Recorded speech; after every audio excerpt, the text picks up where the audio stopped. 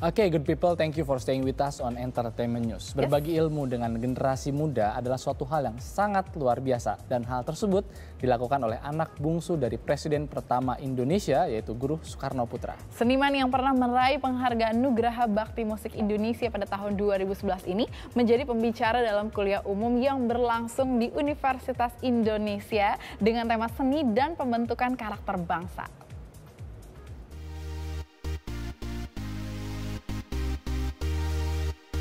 Guru Soekarno Putra ternyata tidak hanya jago menciptakan tembang-tembang legendaris.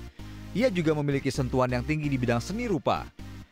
Rabu 4 September lalu, putra bungsu proklamator Soekarno dari Fatmawati tersebut diundang sebagai dosen tamu untuk memberikan kuliah umum di Universitas Indonesia.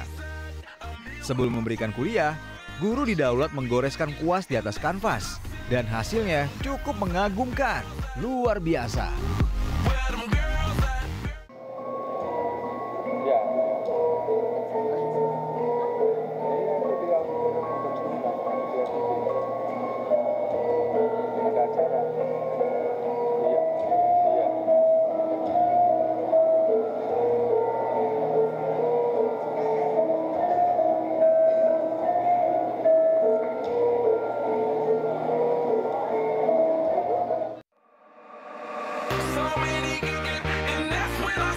Ya, saya diminta untuk memberikan kuliah umum itu dari fakultas fakultasnya fakultas ilmu pengetahuan budaya ya, tapi harus diikuti oleh seluruh mahasiswa sebagai mata kuliah wajib.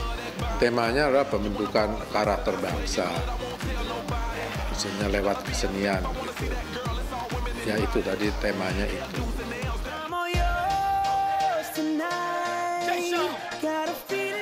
Karena yang namanya aja misalnya Kementerian Pendidikan dan Kebudayaan.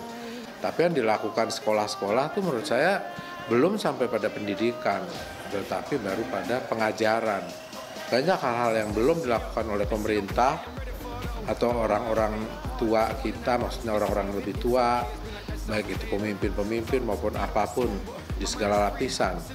Apakah dia hanya pemimpin regu, hanya pemimpin kelompok, maupun pemimpin uh, kepala desa, kepala provinsi atau kepala negara pun apa daripada menunggu apa mereka kita harus ambil inisiatif dulu dengan kreatif kita melakukan sesuatu untuk perbaikan bangsa dan negara ini.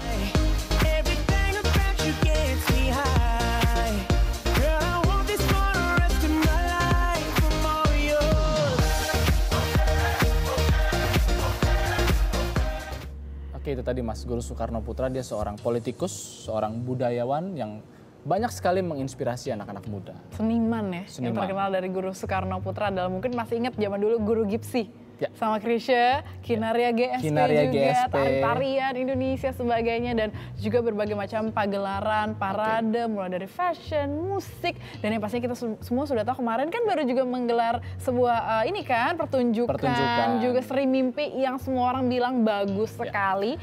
Dan, Dan kalau tapi lebih mengenal secara personal ya, ya saya Mas Guru cukup, ini ya. Uh, kenal baik sama Mas Guru ini karena uh, saya pernah belajar berorganisasi juga dari beliau hmm. dan banyak sekali ilmu tentang sejarah, hmm. tentang politik dan terutama cara berorganisasi yang baik itu seperti apa. Wow. Ini sangat menginspirasi uh, saya dan teman-teman yang ya secara apa ya, secara usia kita masih muda dan banyak sekali belajar dari pengalaman dari pengalaman beliau. Hmm, banget banget dan uh, berarti uh, seorang image-nya Bung Karno ke ya. anaknya tuh deket banget dan karena sangat Mas Guru tuh apa karismatik karismatiknya itu dia tadi ya.